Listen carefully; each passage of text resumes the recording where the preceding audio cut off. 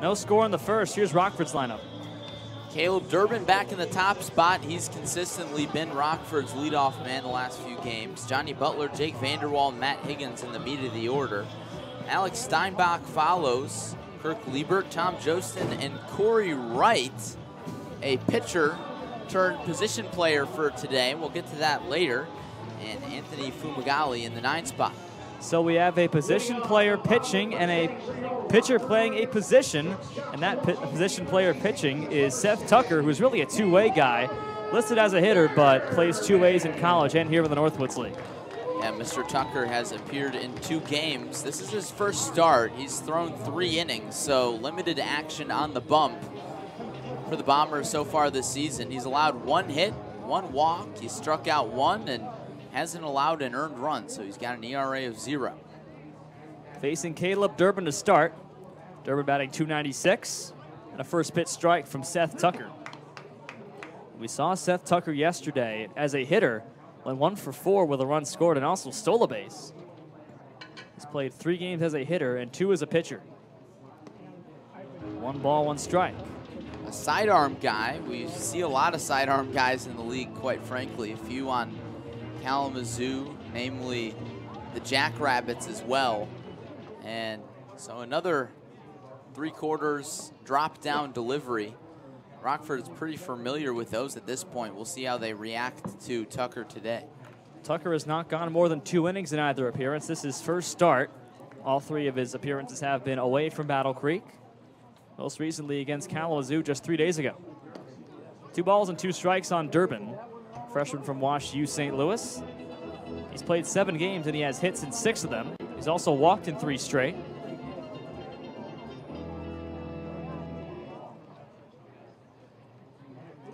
Tucker's 2 2. Up high, ball three. These two teams combining for 17 runs and 21 hits yesterday in a matchup of two pitchers. You got one in Hunter Kime, who has an ERA of more than eight, and Tucker, who has not started this season as he walks Durbin. He could be in for another high-scoring show today. He certainly could be.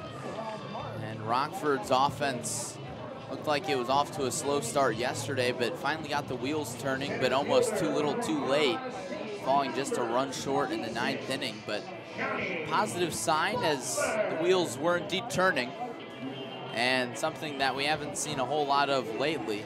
This offense has been come and go all season, but looks like they're starting to find their stride as the season winds down, a little more consistency, and maybe that has to do a little bit of Caleb Durbin in the top spot. He's done fantastic up there, coming into today's game with a 406 on base percentage. Improves that there with that walk. Facing Johnny Butler, who has an on base percentage of 415. Butler drew a couple of walks yesterday, was one for three, batting 287 this season. Two home runs as well. Pops it out of play. Not often you see a guy with two home runs and five RBIs, but there's Johnny Butler. He has 22 runs scored and five RBIs, so you can imagine where in the batting order he usually is. Yeah. We've seen him in the top spot before Durbin came along, and I guess he just got bumped down one spot in the order. And He's a nice piece with Vanderwall and Dak Higgins in the hole. That's a nice stretch of lineup for Josh Kime. Three guys that can really knock the ball around. Butler has scored a run in 12 of his last 15 games, including one yesterday.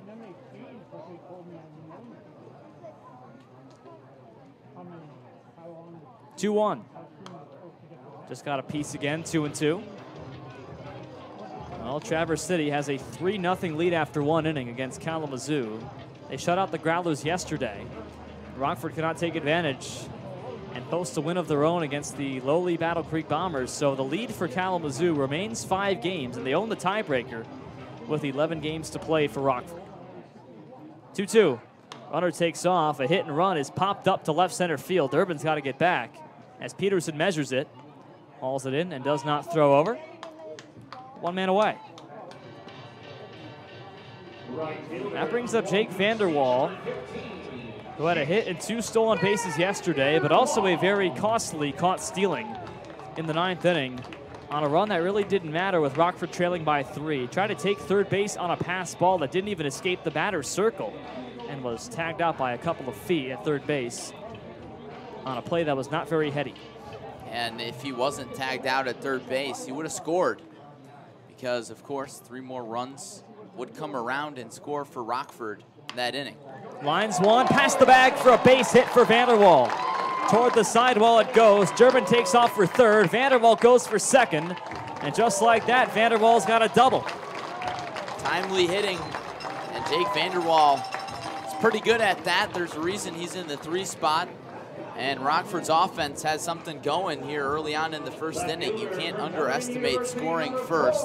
Rockford needs this momentum after a tough loss last, last night. And we say it a lot, Rockford really needs this win tonight. It's been the mantra the last two weeks. 13th double for Jake Vanderwall, his 22nd extra base hit to lead the Rockford team.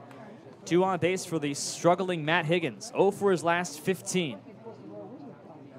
Again in the cleanup spot for Josh Kime.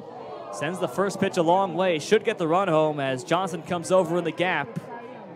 Hauls it in, and Durbin comes around. Vanderwall going for third, and he's in there safely as well. A sac fly for Higgins makes it 1 0 in the first And when you're struggling, you just got to focus on good contact. And Higgins got under that one, but it was good enough to score the run. Picks up an RBI in the second consecutive game for him. And a productive out. What more can you ask for? 30th RBI of the year for Higgins. He's got a run batted in in two straight games. That brings up Steinbach. Steinbach, the third baseman playing his second game, was one for three in yesterday's contest. Curveball for a strike. So Rockford has four guys in their lineup today with four or fewer at bats. Steinbach's got three. Kirk Liebert behind him has four. Corey Wright has none, and Anthony Fumagalli has four.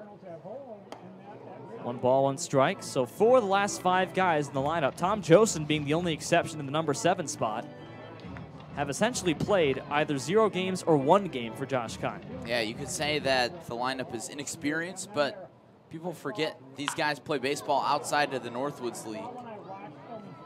A high pop for Johnson. In the sun makes the catch, and that retires the side, but Rockford scores first, a Higgins sac fly. 1-0 screws after one. 1-0 Rockford bottom half of the second. Rivets with a run on a sac fly for Matt Higgins in the first inning. Seth Tucker out to face Kirk Liebert, Tom Jostin, and Corey Wright here in the second. Here's Battle Creek's defense. Trace Peterson, Colby Johnson, and Caleb Belgard out there in the outfield. Anthony Catalano and Michael Morset on the corners. Josh Sheck and Cooper Trinkle up the middle. Gabe Sotrace behind the dish tonight. So Rockford, the team that scores first today. Hunter Kime for the first time a start this season. No runs allowed in the first. and In fact, he's scoreless through two, just one hit. He's left two on base. Kirk Liebert to bat for Rockford, still in search of his first hit. 0 for 4 in yesterday's game, but he did score two runs and stole a base for Rockford. Liebert, the catcher from Wabash Valley College in Mount Carmel, Illinois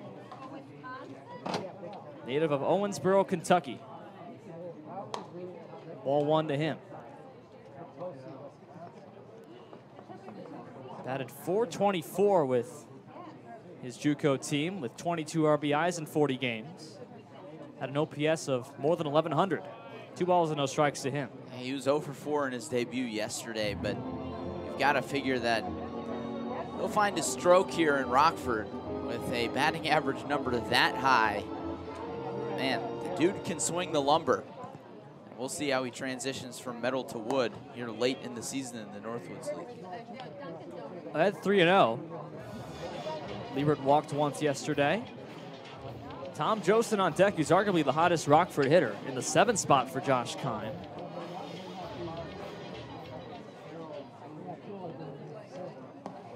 And a four pitch walk to Liebert.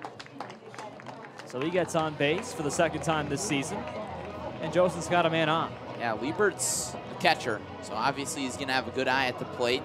Showing off that plate vision there, you're not going to get away with throwing too many balls outside of the zone to a backstop. And as you mentioned, Jostin in the seventh spot, I think that's a calculated move by Josh Kime. And Jostin has almost acted as a spark to the bottom half of the order. Yesterday it worked, and we saw production out of the bottom half. Anthony Fumagalli, who was down there yesterday, had a three RBI base knock in his only hit of the day. So pretty productive in the bottom half for Rockford yesterday, and Jostin back down there again today. A hard swing on the first pitch.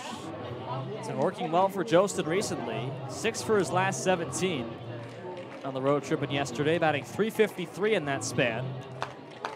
Been on base in 16 straight games. The only two-time player of the week. A crack on 0-1, just foul. That would have probably scored Kirk Liebert. 0-2 on Tom Jostin, does strike out a lot, 50 times in 50 games this season. Two home runs on the road trip. He's got three this season. All three have come on the road. The party porch is once again occupied to begin the game today. 0-2. And Jostin down on a breaking ball. First strikeout for Seth Tucker. And the dangerous Tom Jostin goes down for the first down. That was a pretty nasty breaking pitch from Tucker, throwing it well in the dirt. He was out ahead of Jostin. He knew he didn't have to throw him a strike. So he didn't, and Jostin gave chase, results in the first strikeout. That brings up Corey Wright. No, Rockford's not setting a pitcher out there. They still got their DH. Jostin was, in fact, the DH. Corey Wright playing first base today. Batted 158 with Rockford as a hitter in 13 games last season and a first pitch strike to him. I'd imagine with, without playing at Valdosta State this past season after transferring and only playing 13 games in summer ball a year ago, he's got to be a bit uneasy at the plate, perhaps, taking that first pitch. Yeah, it'll be interesting to see how he reacts in his at-bats this evening. He looks comfortable, so at least he's pulling that off. You know, look good, play good. I guess that's half the battle, and he's rocking the stirrups as he always does, so He's got that going for him. Well, to quote Dumbledore, you can never have enough socks. Interesting. Stirrups from Corey Wright. Never have enough stirrups. It's Harry Potter night here at the ballpark. A ball and two strikes on Corey Wright. Pull that one out of the back of your head. As a big Harry Potter fan, yes.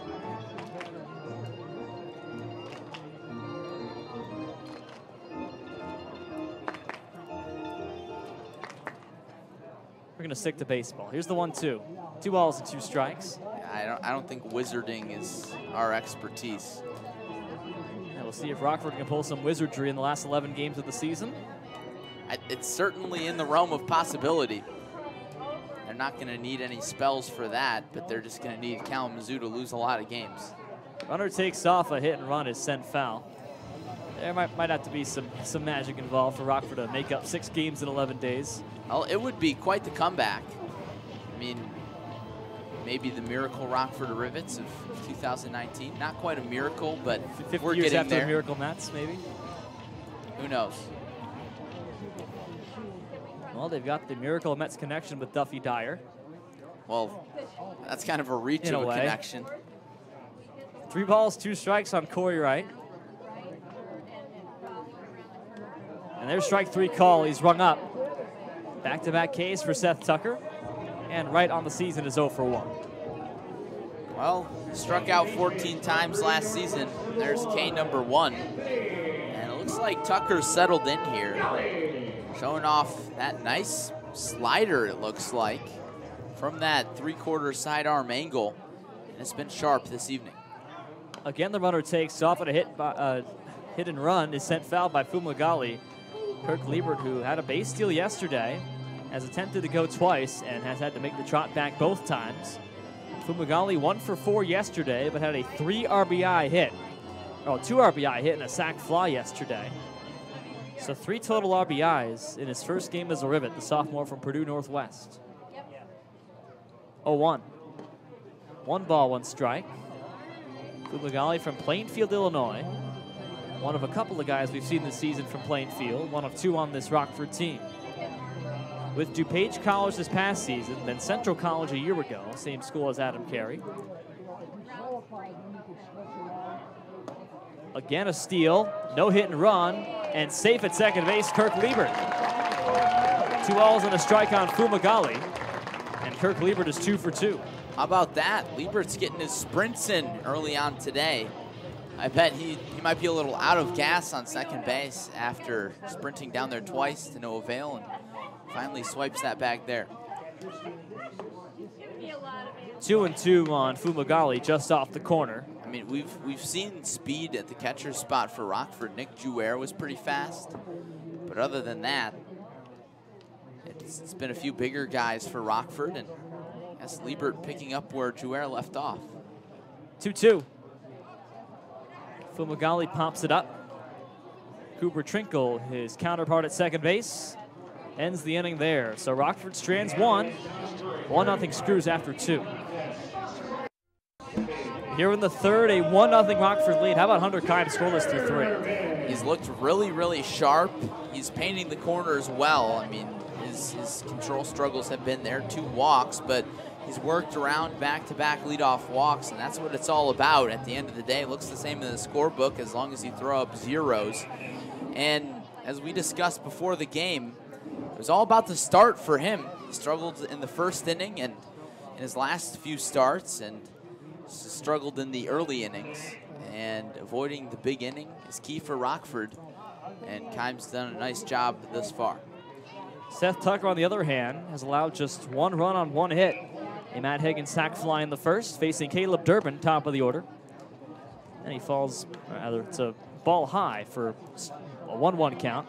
Durbin walked back in the first on a 3 2 pitch.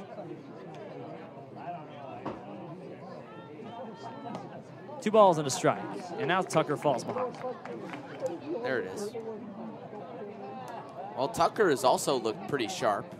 Without that sac fly by Matt Higgins, we'd have a 0-0 ball game. And Tucker's done a really nice job of avoiding hard contact without, you know, with the exception of that Vanderwall double. And Tucker's also had the strikeout stuff working. Back-to-back -back strikeouts in the second And he'll look to continue that here in the third. So Durbin walked in the first. 3-1 count. Swings away and fouls it off. 3 and 2. How about those hands on deck by Johnny Butler to snag that one very casually with the batting glove on his hand. And foul balls to the on deck circle might scare some guys, but not Johnny Butler. They scare you? No, I, I didn't get many when I was in high school. No, they don't scare me. Hard grounder, snagged at third. Catalano's throw over is high. That ball was flipped back and it hit Durbin in the back of the head. The catcher, Sotras, coming over to try to cover or at least back it up. And Morris had at first base after retrieving the ball, tried to flip it to him, and he hit the back of the head of Caleb Durbin, who's safe at first. That's not something you see every day And of course, I'll pull out the classic line. You see something new at the ballpark every day. And I guess that makes the list. Morset flipping to his invisible other defender covering the bag. And I guess he thought that maybe Tucker was going to be there or even so Trace, but it doesn't really matter because he tossed it pretty lightly. So just a, a slight blooper. It'll leave a bruise for sure. Strike one to Johnny Butler. Fly to left his last time. He's 0 for 1. So Durbin on base for the second straight time. A nice snag it was by Catalano, but couldn't make the throw over. I was just about to say, you know, that's a tough play to make, but the hardest part is getting up and making the throw in time. It is part of the reason, and I was reading something today about you know, how some of the better position players, on the left side of the infield especially, get charged for more errors because they get to balls better, but sometimes have trouble throwing over when otherwise it'd be a base hit had they not picked it up. Exactly. So on paper in the scorebook, they might be the quote unquote worst defender than their counterparts at first base and second base. But as you mentioned, shortstops are usually quicker and third basemen are, are really good with the I don't know fast twitch muscles down at the hot corner, and we saw it there on Catalano, making the nice stop, maybe preventing extra bases. And that's something that's just not in the scorecard. Exactly. And Catalano gets charged for the error when that could be a ball dribbling to the bullpen. Durbin could easily be at second. Yeah, certainly an intangible thing that you don't really understand unless you're watching the game. Runner takes off, hit and run, is blooped in the center for a base hit. First and second, nobody out to begin the third. Hot start for Rockford here in their half of the third. You gotta love that. Early production from Hunter Kime on the mound. And Rockford went out there and got him the lead in the bottom half of the first. And they could only make things easier if they could pick up another run or two here. Once again, a man on base for Jake Vanderwall. In fact, two of them doubled back in the first. That moved Caleb Durbin over to third, and he eventually scored. So Vanderwall's one for one, has 23 extra base hits this season. Of the 22, 13 doubles. Shot to the opposite field. Peterson gives it a look. One away. And Durbin does not move up. Not deep enough off the bat of Vanderwall. There's one away. Yeah, Vandy was really frustrated. You could see it right off the bat. He's pretty disappointed. Kind of tossed his bat down. And for good reason. You always want to come through, especially when you're the three hitter, when you've got a runner in scoring position. Came through back in the first, not to be here in the third. Now Matt Higgins, top button is undone, chains in full view, had a sac fly back in the first. 30 RBIs this season for Higgins.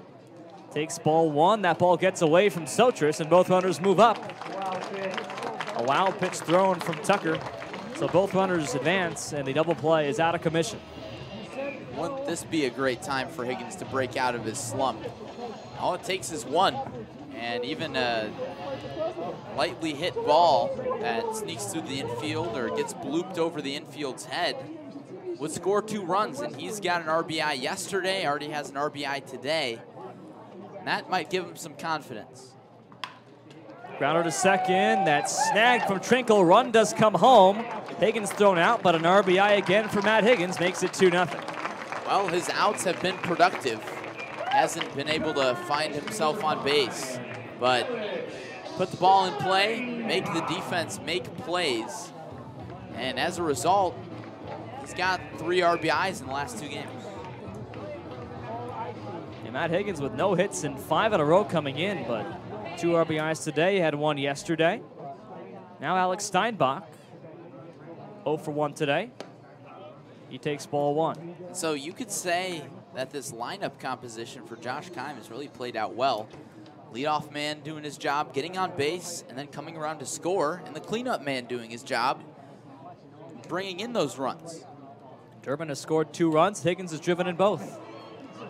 One and one on Steinbach. Flied to center his first time.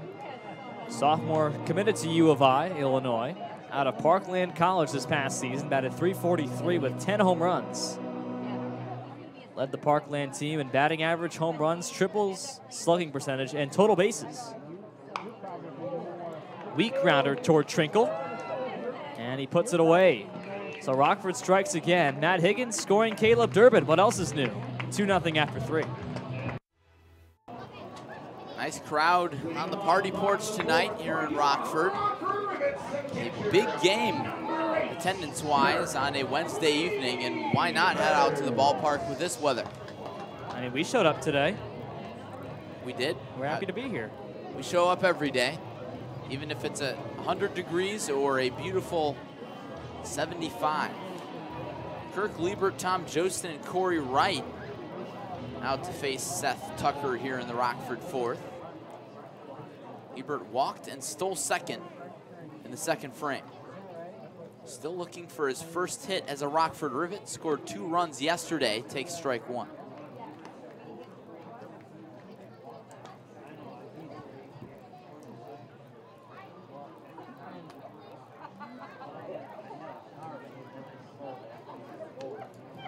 Liebert boasted a 636 on base percentage at Wabash Valley on the JUCO circuit earlier this spring.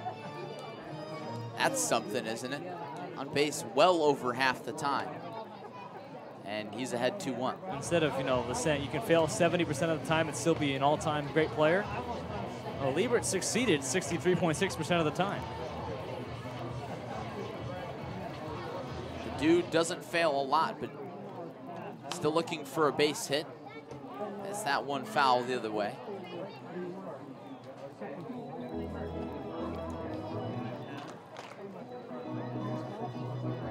Seth Tucker making his first start of the year, hadn't gone past two innings in an outing. Here he is in his fourth inning of work. Doesn't seem to be having any trouble with the pitch count.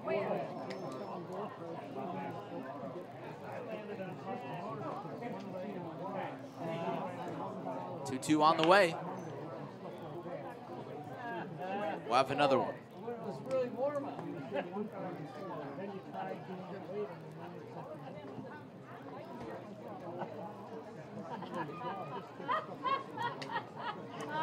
It is very odd when, you know, the Rivets only have a certain, you know, set amount of jerseys in the same number, so the numbers get recycled, and you know, as new guys come in and guys come out, Liebert's guys that one the other way, converging our three defenders, and there's a collision. Ooh. Whenever you get out near that bullpen mound, it gets scary. Looks like Trace Peterson is all right, helped to his feet there. Rockford certainly sensitive to collisions as they lost Andrew Wilhite, who is most definitely one of their best players, especially as of late, to a concussion after that collision. And looks like things are all right between, I believe that was Catalano and Peterson colliding, but it was Sheck, Catalano, and Peterson converging right around that bullpen mound, which always makes things interesting. Everybody's all right. We'll resume. I'll have another 2-2. And another. So all these guys taking each other's numbers, you know, number eight, Josh Dudden for all these games. Well, it's Caleb Durbin from Brendan Comia at number seven. And the list really goes on and on when you have only a finite number of you know, number of selections and jerseys. When these are two teams with you know, a revolving door of players, really. So many guys have come through these two programs. Another foul ball. So that's four foul balls in the at bat consecutively for Liebert. Just staying alive. Rockford certainly wants to work up the pitching count on Tucker. As we were just discussing, he hasn't gone deep in many games.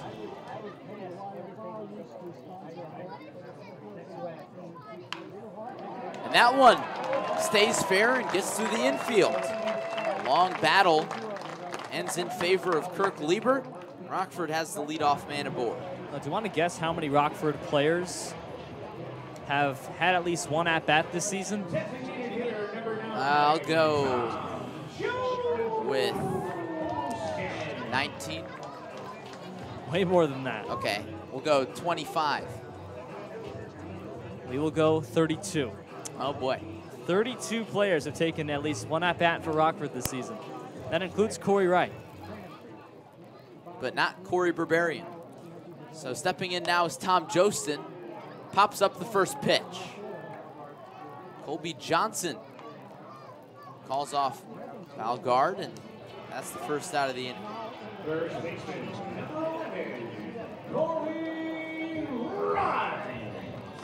So here is the aforementioned Corey Wright. Struck out looking in the second in his first at bat for the Rivets this season. Had a number of them last season making his first start at first base tonight.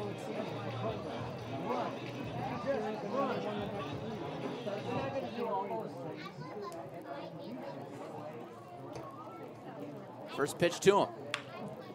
One grounded to second. Trinkle to short for one. On to first, not in time. Wright busting it down the line. Breaks up the double play. So for pitchers, not including two position players, Those being uh, Tim Lilly and Aaron Mann. Want to take a stab at how many guys have pitched at least one time for Rockford this season? It anywhere near the amount of hitters? Yes. Oh, goodness. Um, 30. 25.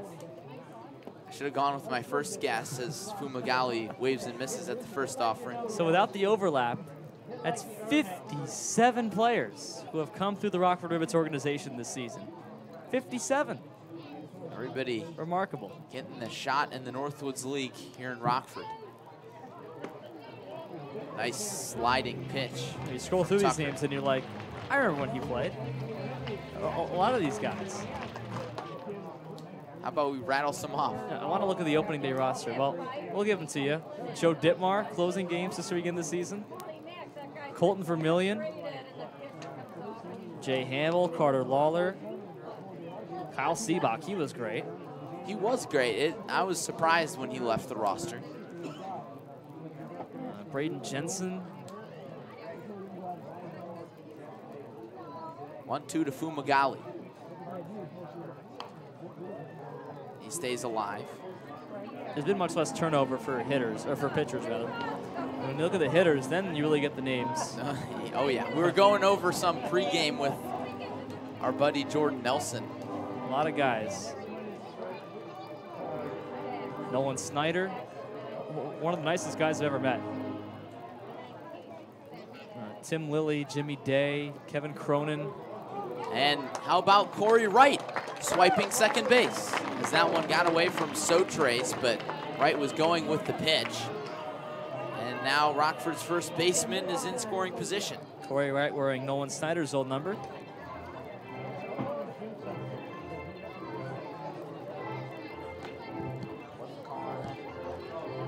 We have to look at the opening day uh, lineup for Rockford. That's when we really get an idea. Well, Corey Wright was the opening day starter, for one thing.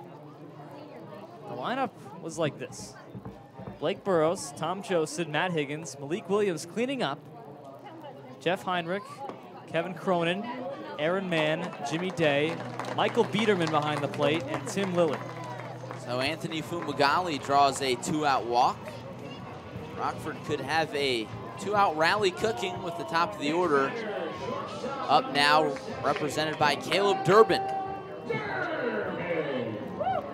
That's that's quite the lineup. Carter Lawler took the loss in that opening game, went four and two thirds and allowed two innings or two runs in those four and two thirds. And Nathan Schneiderman went three scoreless innings to end the game. Well, a game that was delayed by rain originally. Yep. First pitch to Durbin, just inside.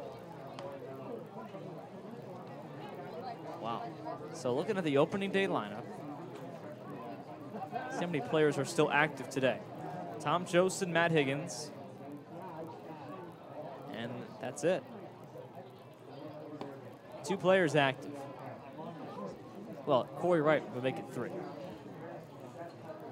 Looking at game two, Josen's still active, and Higgins, the same two guys. Both pitchers, though, as well. Burnett and Kime went the seven innings there. Well, lots of turnover, especially early in the season. 2-0 to Durbin. With the patient approach, has taken the first three pitches. That one for a strike.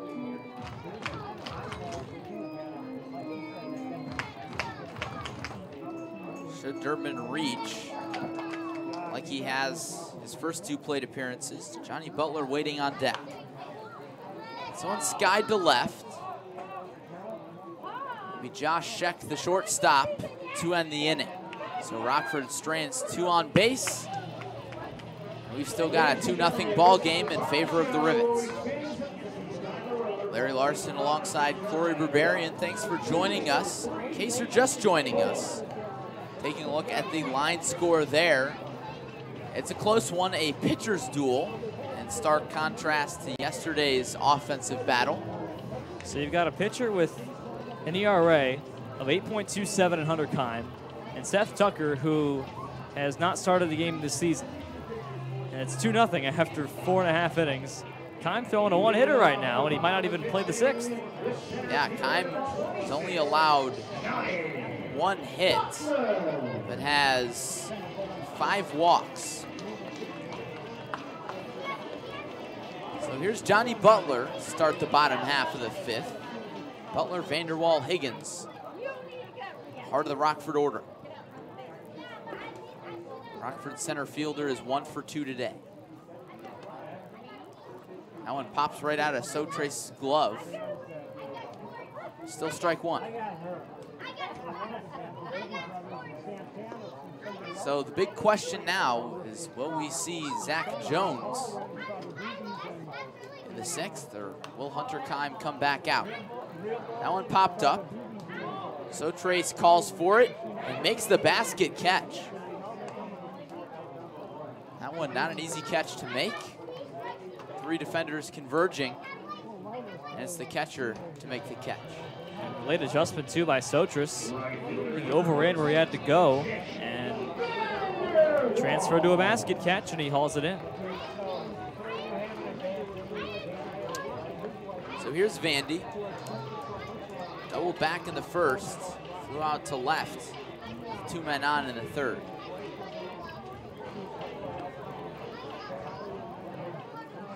Caleb Durbin has scored both runs for the Rivets, and Higgins has driven him in twice.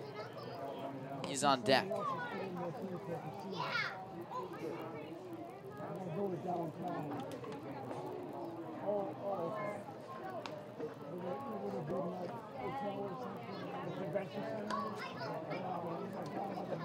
One one now.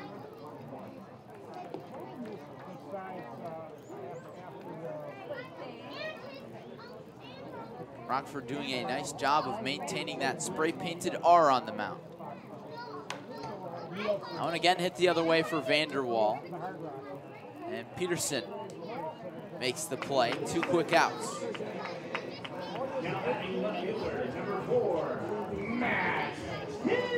Traverse City up 5 0 on Kalamazoo. Rockford up 2 0 on Battle Creek. So this is the result that Rockford wanted. And the fact that they were able to make it 9 8, Josh Kahn told us before the game, the fact that Rockford, with two big innings against them for Battle Creek, was able to make it 9 8 with three in the bottom half of the, of the ninth was really impressive. And it shows the kind of hustle this team has, the grit that they have as a team. And they're putting it on display here today. Pitcher's duel, and Rockford's come out with grinding out a couple of uh, of runs. Neither has come on a hit, a sac fly, and a ground out, both by this man.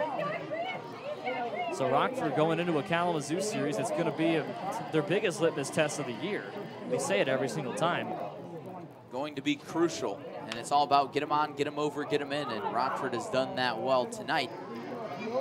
So of the Traverse City get them on, get them over, get them in. That might as well be their team name. They're outscoring Kalamazoo 11-0 in this series. Just bonkers how productive they are.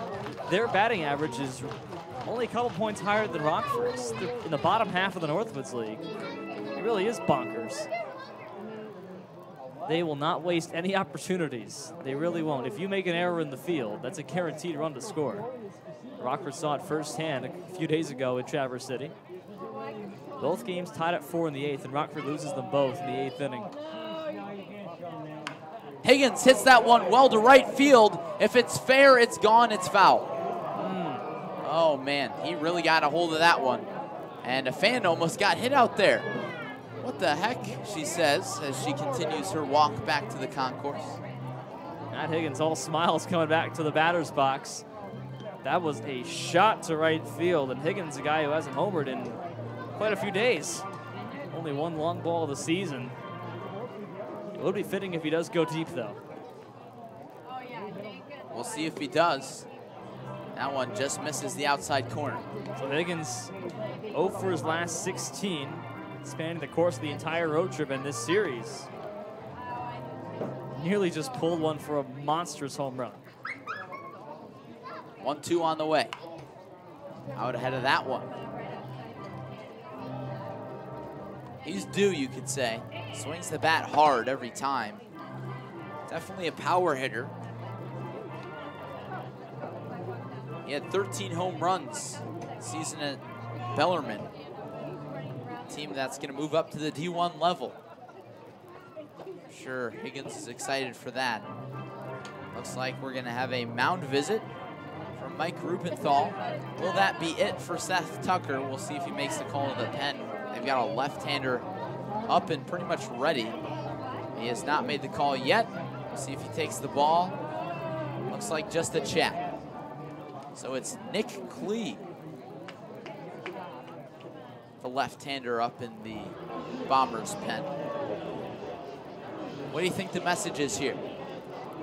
how to approach Higgins here. It's mid at bat too. And I'm sure that Rubenthal has a pitch limit on Tucker. He's at 82 right now.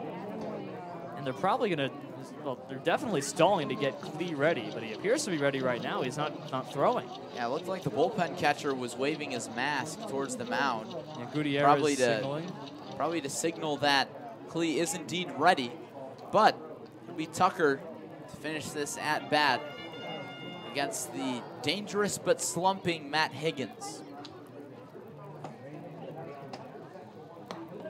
Big swing and a miss. And Tucker sets down Rockford in order in the fifth. Score, Rockford two, Battle Creek nothing.